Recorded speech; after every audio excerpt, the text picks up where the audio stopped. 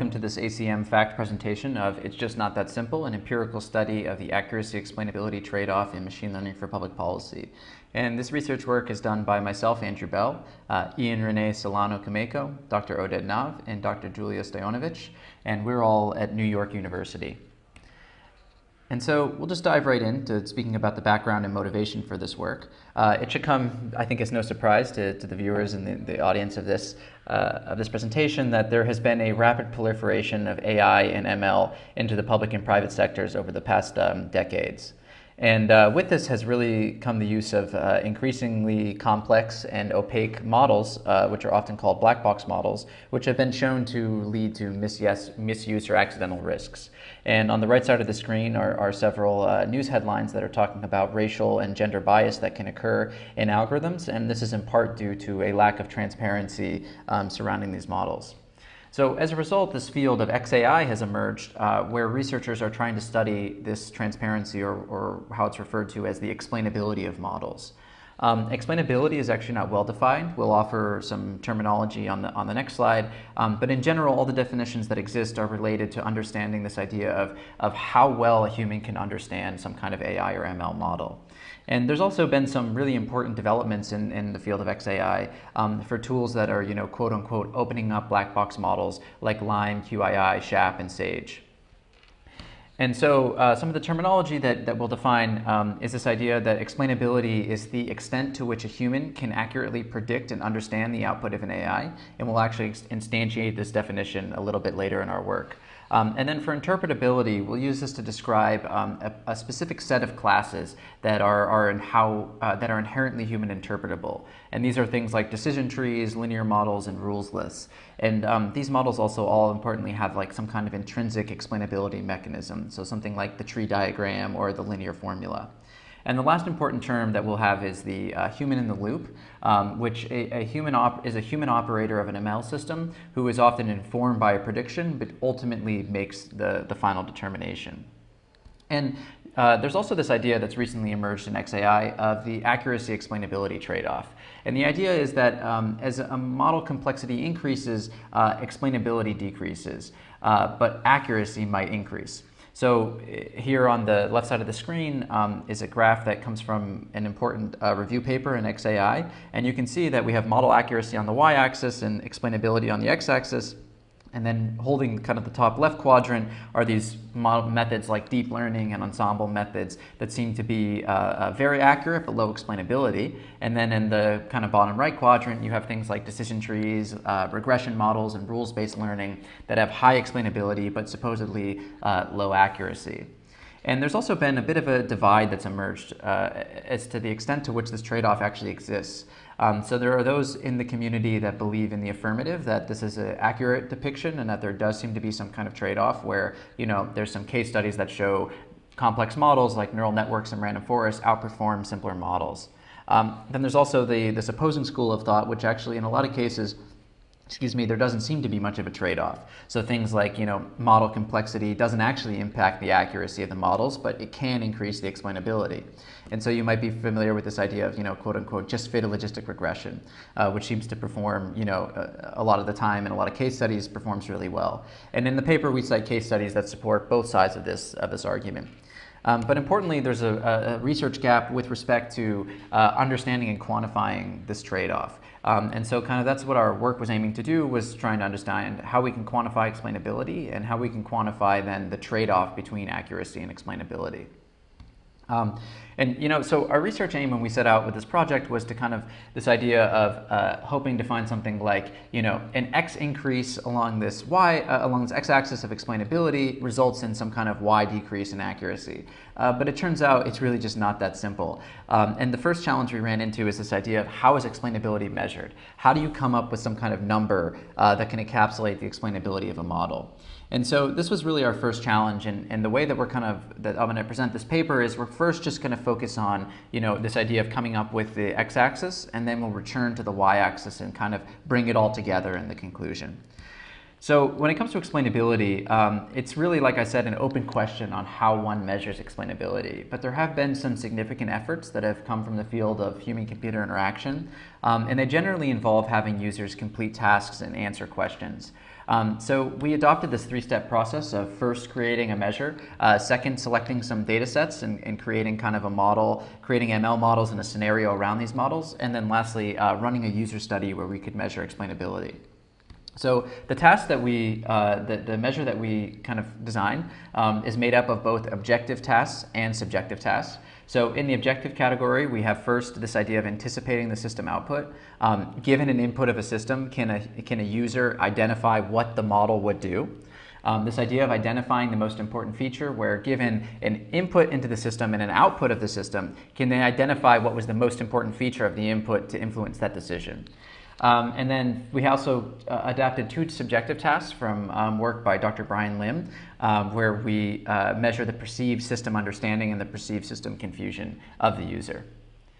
Um, so our second step was to kind of select some data sets and create uh, models and scenarios. So we selected two different data sets, um, the first in the education domain and the second in the housing domain. And this is also uh, real world data um, and the you can get access to this data uh, uh, from the, the paper. Um, and then we kind of created these scenarios around it um, to, to make them uh, feel more, uh, have a more applied setting so we could measure their explainability by human in the loop users.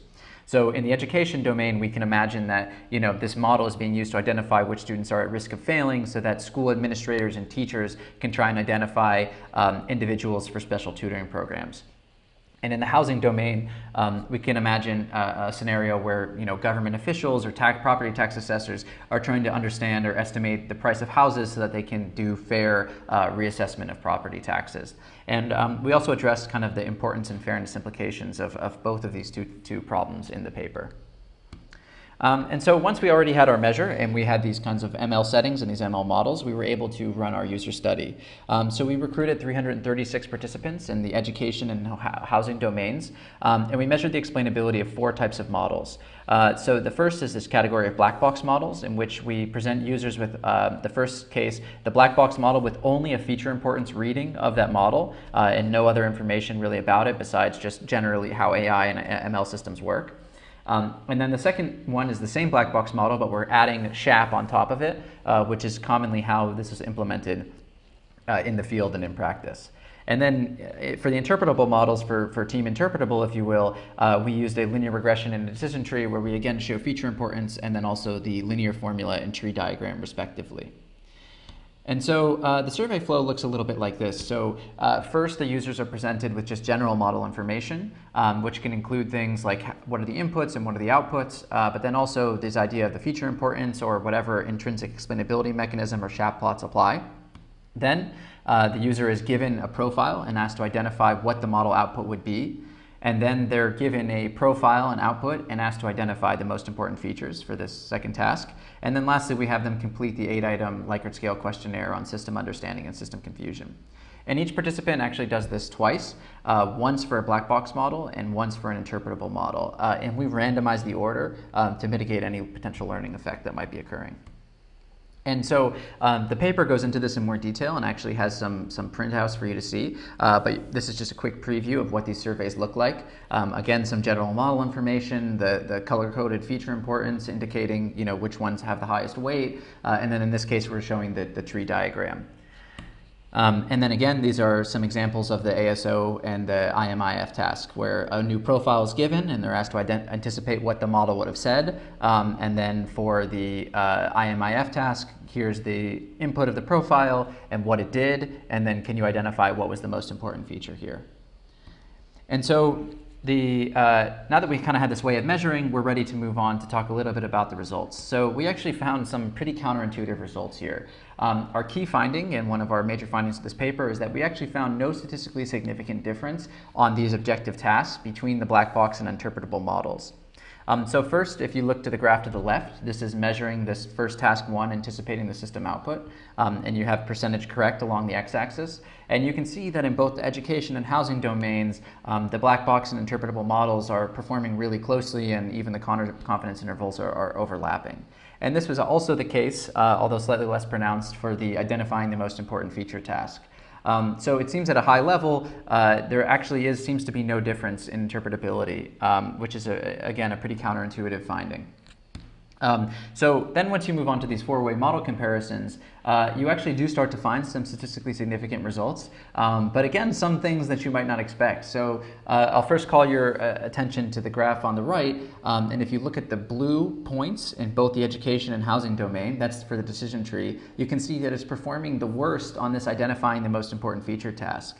And this was due to uh, one of our, our, another one of our findings of this paper, which is this idea of weaknesses in intrinsic explainability mechanisms. So it turns out with the decision tree, when users were asked to identify the most important feature, they were just randomly picking uh, either you know the top node or one of the terminal nodes or something like that, uh, which indicates that you know maybe when it comes to decision trees, there are aspects that it can be good at helping people understand, and also aspects where it is difficult for people to understand, um, which again is, is kind of not something really that's captured currently in literature. Um, and then we also found this idea of user confusion, uh, where we kind of noticed that there was a bifurcation on this uh, on this perceived system confusing score. Uh, you know, a lot of people concentrated around either being confused or not confused, and it does seem to impact the performance on these two tasks. Um, so this might be uh, due to something like information overload, but more study is required uh, in this direction. And so once we have this x-axis of explainability and we kind of have some measures, uh, we're going to quickly go back to this y-axis and then we'll put it all together. Um, so when it came to measuring the accuracy of models, we trained classifiers that were a mixture of black box and interpretable models um, and are indicative of those used in ML for public policy. So we actually recorded seven different metrics, uh, which are all in the paper. Uh, but here we present two, which is accuracy and precision at 25%. Uh, precision at 25% is an important metric that's used in a lot of machine learning for public policy contexts. And so here is our results after a really extensive uh, model training process, which again, you know, all the implementation details are, are highlighted in the paper along with actually a link to a GitHub repository um, so you can actually follow along with what we did exactly. Um, and so I know there's a lot to digest here, so we have this version of a, a kind of a synthesized version of this table um, which if you look, let's say, like on the first row for education, um, we can see that when it came to the best performing interpretable model and the best performing black box model, we actually had a tie within 0.01 performance uh, on both accuracy and precision at 25%. Uh, which is, is quite surprising and again counterintuitive this idea that you would expect uh, um, some kind of difference between black box and interpretable models. Um, in the housing domain, there's a slightly different story where you have a tie among accuracy, uh, but then when it comes to things like precision at 25%, uh, the black box model actually had you know a 0.07 or 7% uh, better performance, which is which is pretty significant. Um, so the moral of this of this is kind of again uh, sometimes we do notice this pattern sometimes we don't uh, but it's not quite clear exactly what's going on. So it makes for a, a bit of an anticlimactic final putting it all together uh, but an important takeaway here which is the idea that you know it doesn't seem to be possible to easily generalize this trade-off uh, between the two. And so I'll just quickly call your uh, attention to the graph on the right where explainability is being measured as this, you know, task two, identifying the most important feature, and the y-axis is the best accuracy score. And in this case, if you look at the top, top right of this graph, you can see that the best models in both domains are the, uh, are, one is an interpretable model and one is a black box model, and they're right on top of each other. So it seems to be, in this case, there was no trade-off between a black box and interpretable model.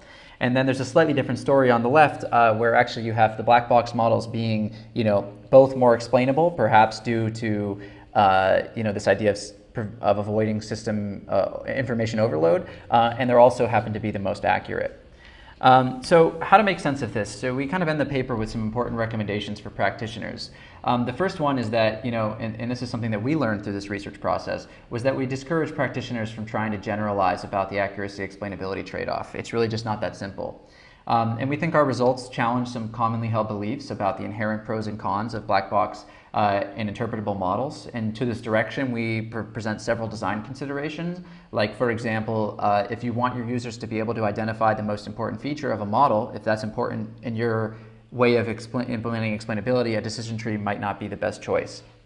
And then lastly, we, we conclude by advocating um, for interdisciplinary collaboration between you know, the many different domain experts from, from ML engineers to product designers to users um, to really being able to effectively implement explainability in ML systems. Um, and that's all, and we really thank you a lot and, and look forward to any questions.